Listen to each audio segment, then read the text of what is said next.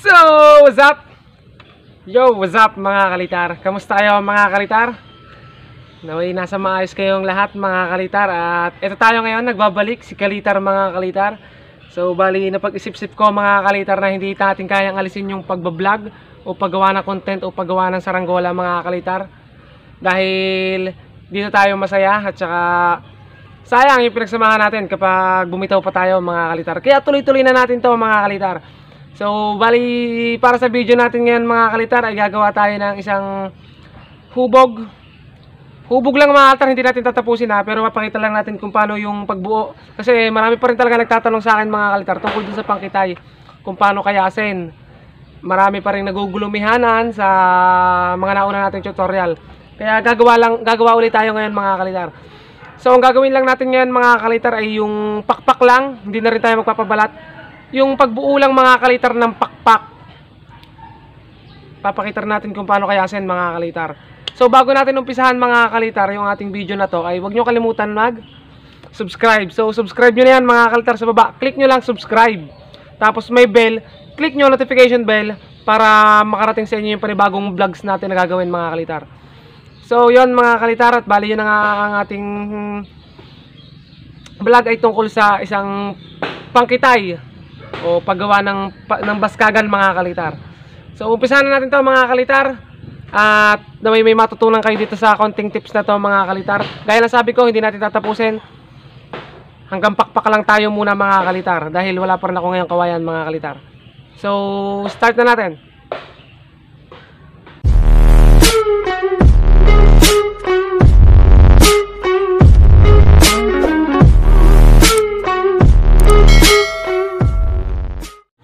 Okay mga kalitar, ito yung ating kawayan mga kalitar, kayas na siya.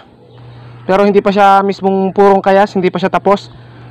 Bali, ang kailangan natin gawin mga kalitar, gagayahin natin to. Kita nyo ba mga kalitar? Ito yung pinakasentro niya mga kalitar. Isang dangkal. Tapos dito tayo magpapaliit mga kalitar. Ang pagkakapino niya mga kalitar ay talagang dapat mas maliit pa sa sa ballpen mga kalitar. Pagdating sa dulo halos gatingting mga kalitar. Ayan ang mga kalitar para hindi kayo malito. Pag hinubog nyo yan mga kalitar dapat yan mabilog. Mag, mag, yung parang itsurang paoblong yung dulo mga kalitar. Ganyan. Okay try nating panipisin pa mga kalitar kasi medyo makapal pa.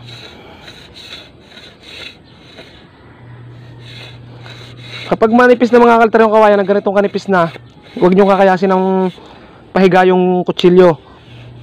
Kasi may ano yan may purpose yun. Kasi pag ganito yung patagilid ang kayas pasensya na kutsilyo matagal natin hindi nagamit kinakalawang na. Pag patagilid pwedeng lumalim yung kayas mo. Pag napalalim mga kalitar eh hahabulin mo naman ngayon yon pag nahabol mo yung paliit panipis ng panipis pag napasobra sa nipis, pag binend mo, suklo na siya. Hindi na siya mahahabol. Mahirap nang habulin. Kaya dapat ang kayas mo mga altar patagilid. Parang ganito mga kalitar. Manipisin lang natin mga kalitar. Kailangan mula dito sa gitna dangkal ka isang dangkal pagkadangkal mo ng isa ito panipis na. Yung asin talagang saktong sakto yung panipis talagang patilos na patilos yung dulo mga kalitar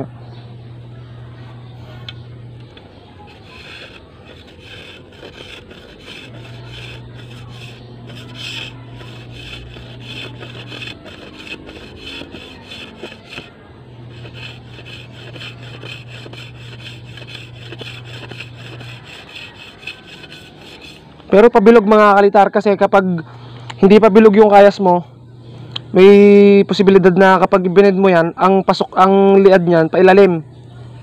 Kumbaga nakadapa yung ito yung ito yung ibabaw. Ito mga kalitar yung ibabaw. Kapag ibined mo siya, ibinubuo mo na, pwede siyang pumasok pa ilalim. Ang bin niya, pa ilalim, hindi, hindi pantay. Kailangan kasi pantayan mga kalitar.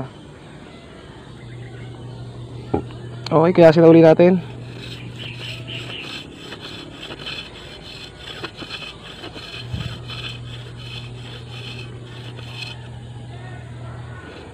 Yan, okay na to. Kapag natapos kayo sa isang baskagan mga kalitar, para sa akin lang ha mga kalitar, pag natapos na kayo dito sa isa, kung maaari, matuto tayong wag muna yung kabila mga kalitar. Hindi muna yung kabila. Kung maaari, kuhanin mo yung isang pakpak, isang baskagan, ito mga kalitar. Yung katuwang muna ang gagawin mo mga kalitar, parang ganito mga kalitar. Pagkatapos mo dito sa isa, ito namang isa mga kalitar ito. Kaya kayasin na natin mga kalitar. Kailangan pagtapat pag kailangan pagkakakayas mo, lagi mo pagtatapatin kung magsing pantay na ba yung hubog niya o yung pagkakakayas. Gaya nito, manipis pa tong ito yung ito yung kinayas natin na manipis na tapos ihahabol natin to ngayon. Para hindi kayo mahirapan kasi pag yung kabilangin na nyo, mahirap silipin kung pantay. E pag pag ganitong magkatuwang na agad ang kakayasin nyo, kita mo agad yung diferensya mga kalitar kung gaano kanipis ang kailangan bawasan. Ay, kayasin na natin.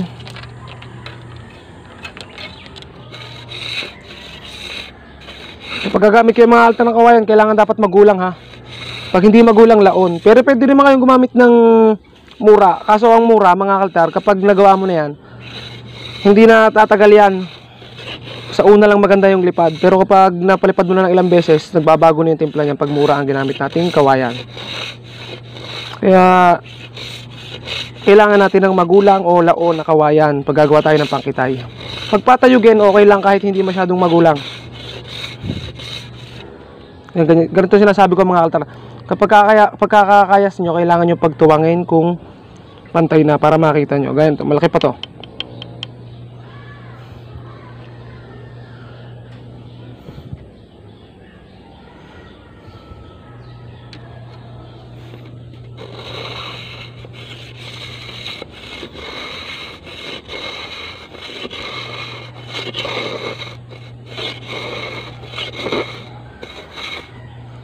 Kailangan, ano pa, mga kaltar, malaki pa yung babawasin natin, oh.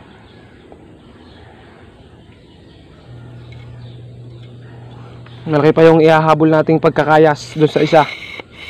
Para mapantay natin yung hubog. Para pag bined natin, pag binuuna natin, pantay na pantay talaga yung magkabilang pakpak.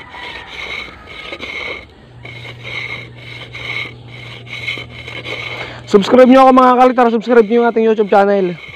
Kalitar Vlog.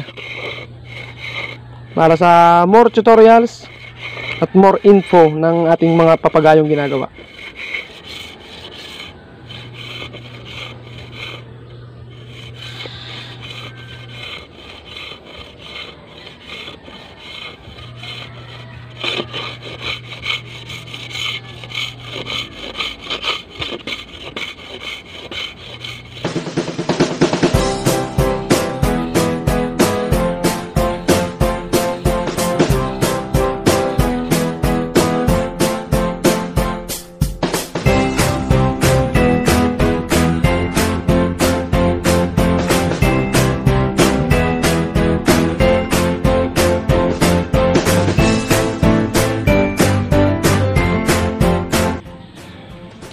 Okay mga kalitar, bali ito na yung magiging kalalabasan mga kalitar.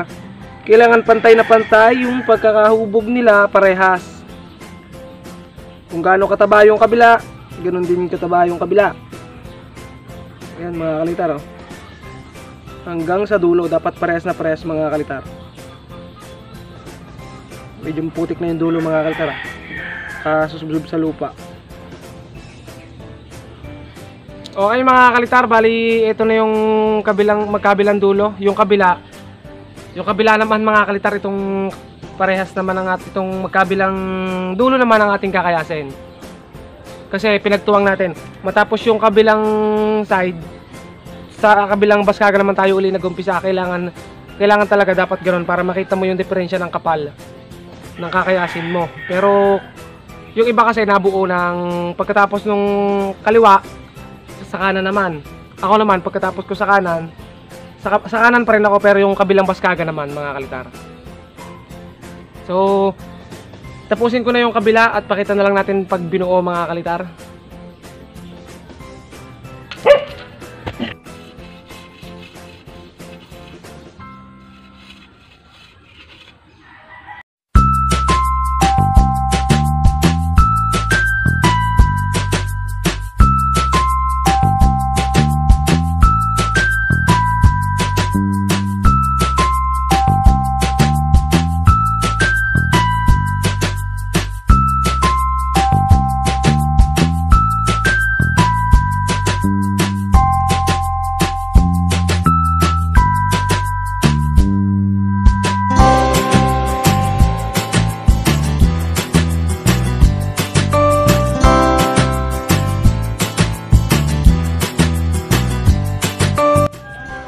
Yan na nga mga kalitar, bali natapos na natin yung ating mga baskagan. Meron na rin tayong patindig yan. Ito na mga kalitar. So, ang gagawin naman natin yan mga kalitar, i-try naman natin ngayon buuin kung anong kalalabasan ng ating saranggolang pangkitay o panlaban mga kalitar. So, okay, tara!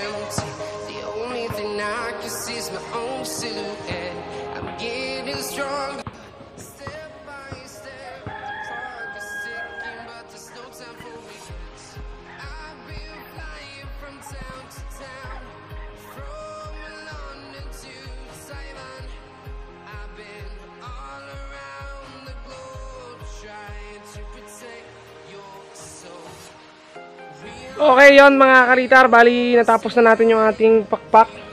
Pakpak ng ating pangkitay o panlaban na papagayo mga kalitar. Bali ito yon mga kalitar, ito na yung ating saranggola. Okay, yan na po mga kalitar yung ating papagayo na ginawa. Yan. Yan na po yung ating tinatawag na flat kite. Pero pakpak pa lang mga kalitar. Bakit nga ba flat kite? Kasi flat mga kalitar, hindi siya nakaliad. Ayan, nakikita nyo naman. Tingnan natin dito sa magkabilang dulo mga kalitar. Ayan mga kalitar. Kaya siya tinawag na flat kite tapos pangkitay, panlaban. Ayun mga kalitar. Oh. Ito nyo ba mga kalitar? Tapos tingnan natin sa ibabaw. Ayan na mga kalitar.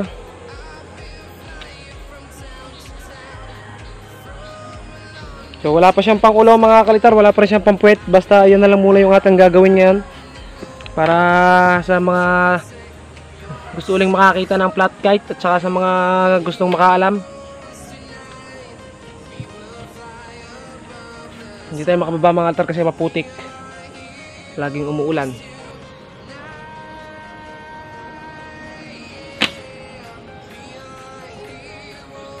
Dilutungan natin mga kalitar kasi mautdo yung patindig natin. Kaya kailangan ng mahaba. Kailangan mahaba ang patindig nito kasi yung patindig natin wala tayong makitang kawayan na mahaba-haba ay di dinungtungan na lang natin mga kalitar. So yon mga kalitar, bali hanggang dito na lang yung video natin at sana may natutunan kayo kahit konti lang, kahit konting-konting tips lang sa aking ibigay na paggagawa ng saranggola mga kalitar. So salamat sa inyong panonood mga kalitar at yan yung ating papagayong ginawa. Ayan, hindi pala papagayo pa kasi hindi pa buo. So hanggang dito na lang mga kalitar at huwag niyo kalimutan mag-subscribe mga kalitar. So, bye-bye. So, salamat uli sa patuloy na pagsuporta sa ating YouTube channel mga kalitar.